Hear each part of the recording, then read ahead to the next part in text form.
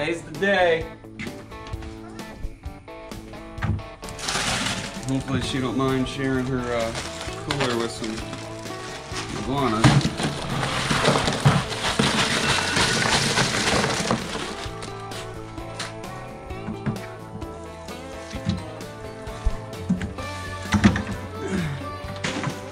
Excited to find out if she's a record breaker or not. We have a uh, little dog training to do this morning.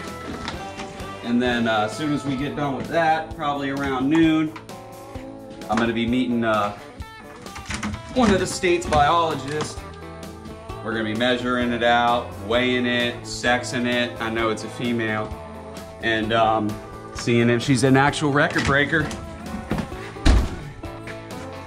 Moment of truth. I've been hyping it up. The news has been hyping it up. Hopefully I don't look like an idiot. We'll see. Watch her turn out to be like 15 foot.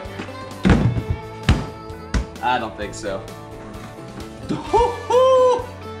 She's big. All right. Let's get her on out of here, get her in the truck, and uh, get on our way. Ready? Okay, go. Oh, God. These handles are gonna break. Holy shit. Yeah, she's huge. You got it.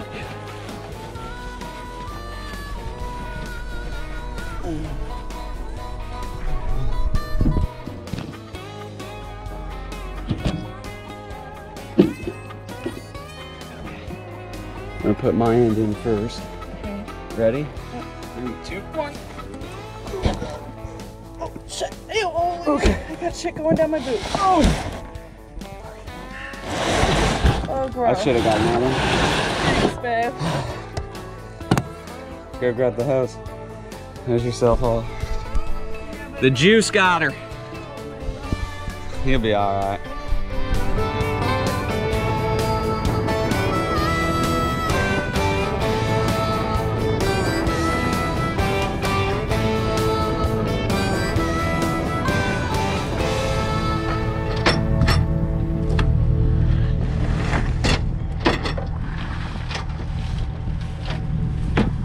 how do you want to do this? I guess just stretch her out here. Yeah.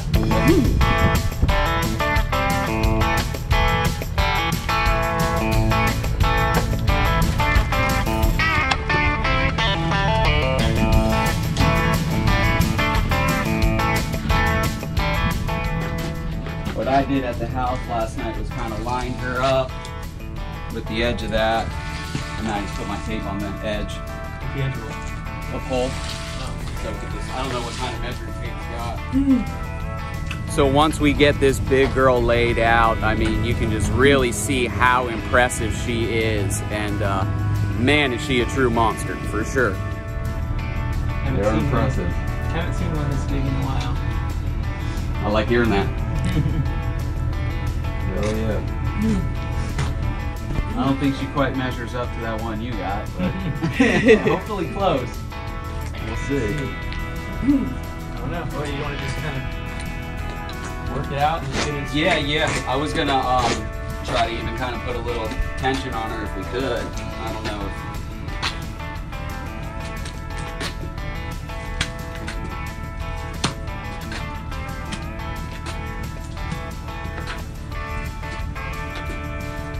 I want to do some kind of balance between, you know, I want to get an accurate measurement. I don't got you. Stretch it, but I Yeah, yeah. No, get- I, I hear you. like I think what, what we just did is, Pretty good. yeah. Okay. I think that's gonna get like the maximum and true length out of it. Okay.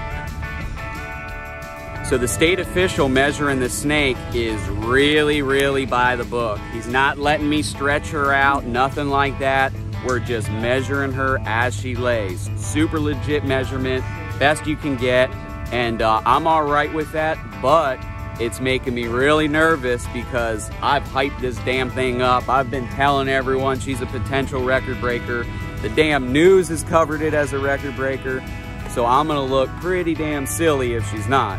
Let's uh let's hope he don't make a liar out of me. What are you looking at? Gotta be nervous. I'm looking here. at. I'm not. I'm trying to figure out. Alright. The inch mark.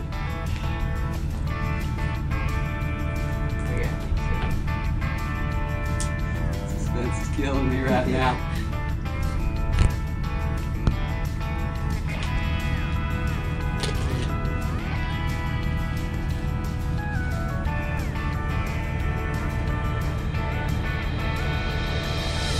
Seventeen seven. 17.7? hey, it's a breaker breaker. I like it. Hell yeah. Beautiful. So what, we got it by two inches? Yep. Yeah. Love it. Hell yeah. Congratulations. Thank you, thank you. Thank you very much. Hell yeah. Let me get a picture of her stretch. So we got her measured out, and would you look at that? She's 17 foot, 7 inches, and she is an official record breaker. Uh, I couldn't be happier, super stoked. Uh, you know, this is a big accomplishment for me. Largest python caught in the South Florida water management program so far. One of the many accomplishments I've been working for. Um, you know, I just got the first nest for the program not too long ago, and now I just got the largest python for the program. It's a good feeling. Um, it's, it's a lot of hard work I've put in, and I truly feel like I've earned it. You know, killing myself out there on those islands, specifically looking for a big girl, and boom, I got her, you know. So, uh, super happy, couldn't be prouder, and um, it, it's a great thing. So we got the record on the length, 17 foot 7 inches, without pulling on her, without stretching on her. Super real, legit, as real as it gets. About 90% of these other snakes can't say the same. But uh, now we're gonna go ahead and weigh her, and I'm expecting her to be definitely over 100 pounds. Hard to say how much. I, I've been saying 150. Realistically, she's probably like more 130, but we'll see. So uh, let's throw her up there and see what we got. All right, 130. Big girl. Hell yeah. Good size snake. Turned out to be 130 pounds, maybe a little bit over. Nice and fat. We're happy.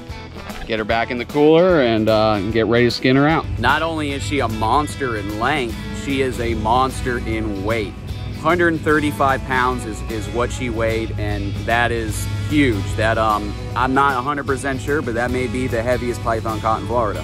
Uh, she is a, a true monster for sure. And I felt every bit of that weight when I was wrestling with her. I'm probably 135, you know, pounds soaking wet, so uh, it was a pretty fair fight.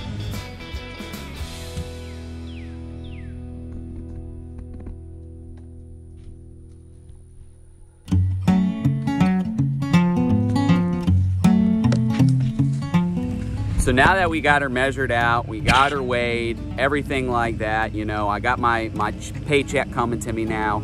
The work ain't over. It's just beginning. I got to get her back to my ranch, and now I got to process her, peel that skin off, make use of that meat, and uh, even make use of the bones. You know, um, I, I have jewelry made from the bones. The skin will be turned into um, usually beautiful leather products. In this case, I'm gonna be keeping it as a trophy and an educational tool.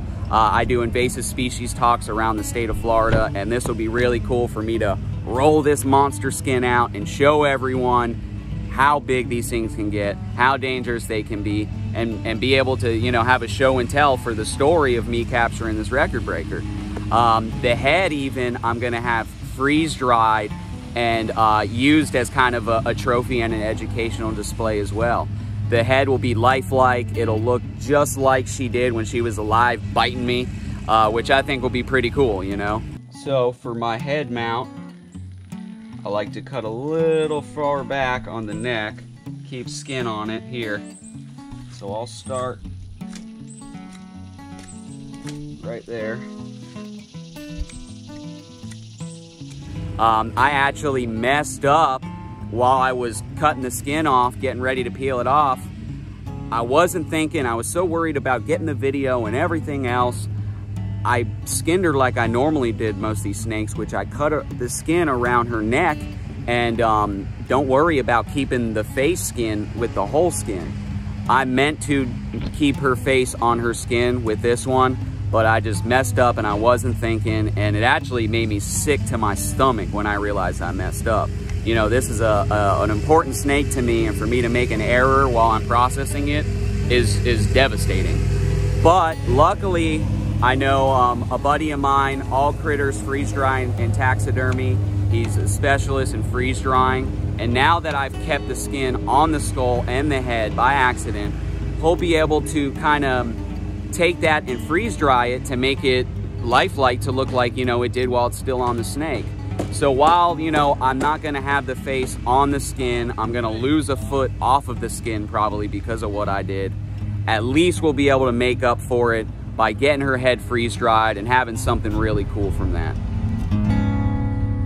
What a bruiser. Woo. I get to open up the stomach, which I've been waiting to do. Um, I want to see what's inside of her, if she's got eggs, if she's got a large meal or what. Well, she didn't have any eggs in her, surprisingly. But boy, oh boy, did she have to take a dump, son. oh my God. Looks like she ate the biggest raccoon there ever lived in the Everglades. And uh, she was getting ready to finish it up and dump them out. So the skin, the bones, and everything like that will make products. The meat is not for human consumption. It's just way too high in mercury when they're this size. Um, and it, it would just be like chewing leather. It's just way too chewy at this size. Six foot and under is a different story, but when they start reaching eight foot and up, it, it, it's really not good to eat but it won't go to waste. Um, I'll be giving it to my hogs and other livestock as feed, and they'll gobble it right up. It goes to show the devastation they're causing out there they're not eating rats, you know, they're eating um, small mammals and even large mammals, and, and, they're eating a lot to get that size. So, um, you know, it's very good we got her out of there and she won't be eating any more wildlife.